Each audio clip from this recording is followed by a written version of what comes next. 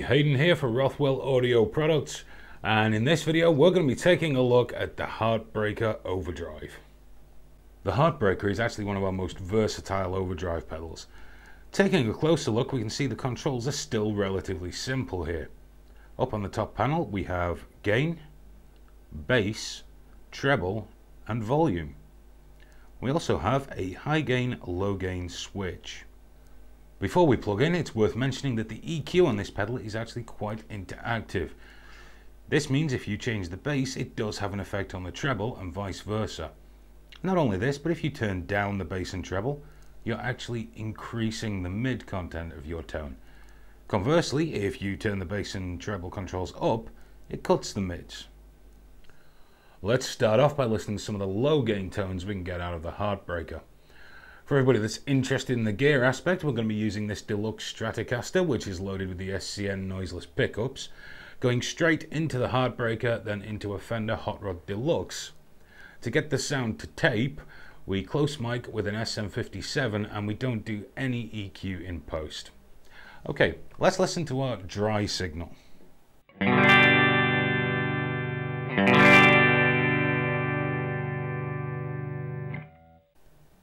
For this tone, what we're going to do is just fatten up our sound a little bit. So on the front of the Heartbreaker, we have the gain around 12 o'clock. We have the buttons set to low gain. We've taken the bass and treble both down to around 10 o'clock. And we have the volume up at around 3 o'clock. Now remember, when you turn the bass and treble down, this actually gives you a bit of a mid-hump. And many of us will know what a mild overdrive with a mid-hump can do for your tone.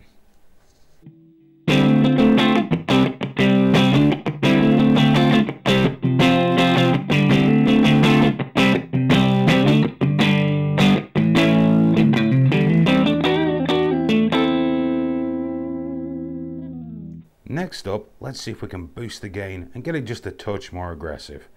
We're going to turn the gain all the way to maximum. Keep the gain switch set to low gain. We're going to leave the EQ where it was and take the volume down to about 1 o'clock to allow for the fact we have more signal because we've cranked the gain. Setting the pedal up this way should give us a nice biting aggressive kind of rhythm tone using the bridge pickup and then a really warm mid boosted sound for leads using the neck pickup.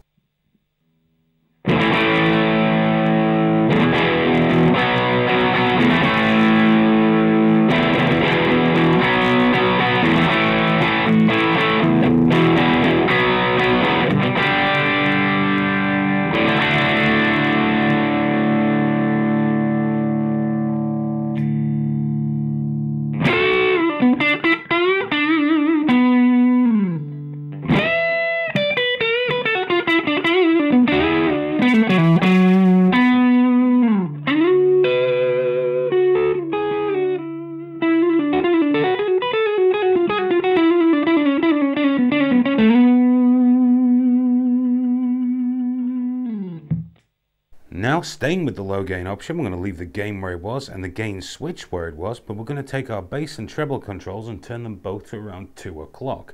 This will give us a mid cut. We're going to take the volume down a little again, having it just past noon, because as you boost the bass and treble frequencies, you do increase the overall output. And this is using the bridge pickup.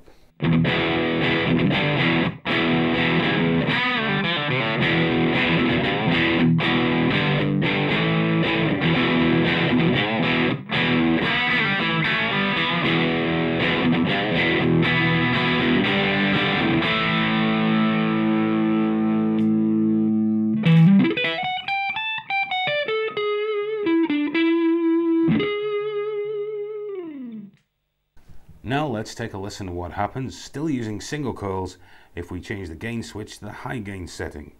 We're going to set the gain to around 3 o'clock. We're going to have the bass and treble both around 10 o'clock, the volume around 1 o'clock. And this is using the bridge pickup on the Strat.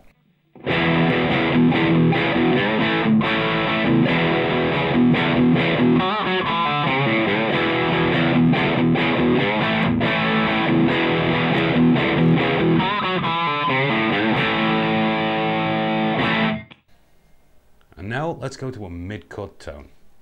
For this, we're going to leave the gain and gain switch where they were. We're going to increase the bass and treble to around 230 and we're going to drop the volume just a touch to allow for the fact we've boosted the bass and treble. And now I'll play the same riff as before, but with this mid-cut, more aggressive tone.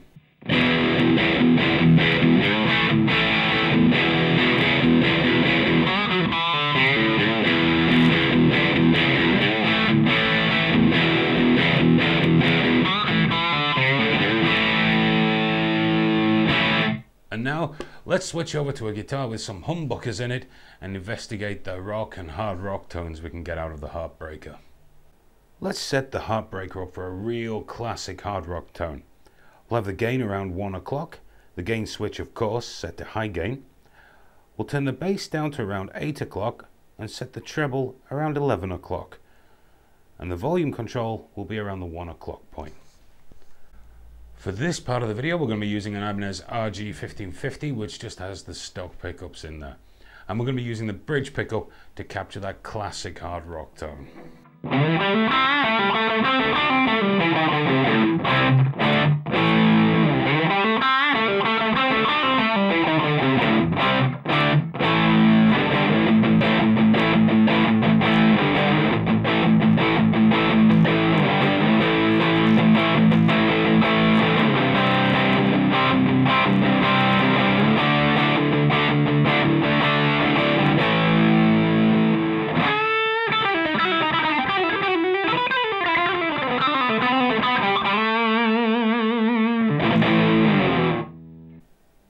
Dial in a slightly more modern hard rock tone here, perhaps moving up a decade or so.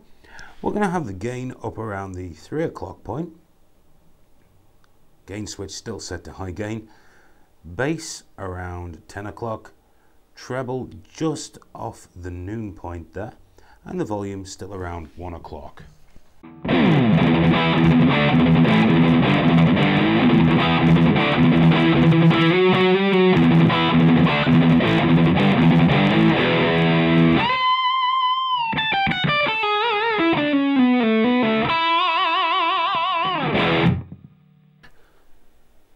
Let's push even further into aggressive territory here. We're going to max out the gain, have the bass around 1, between 1 and 2 o'clock, treble around 4 o'clock, and the volume just past noon.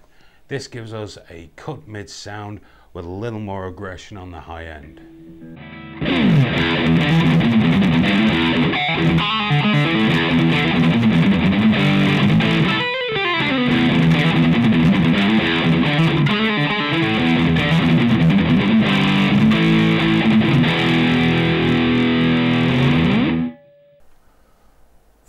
Tone on this video, let's see if we can get a really dirty fuzz tone out of the Heartbreaker.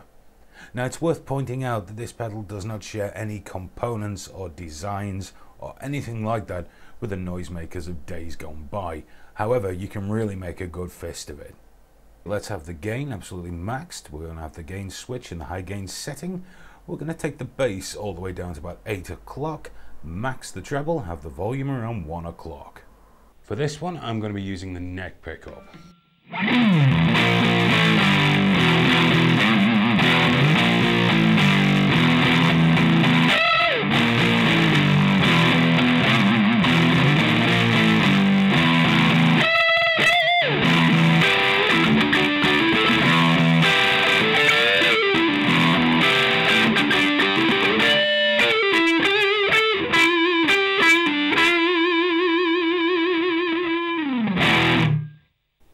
We have featured quite a few sounds in this video, we haven't even come close to covering what the Heartbreaker is actually capable of.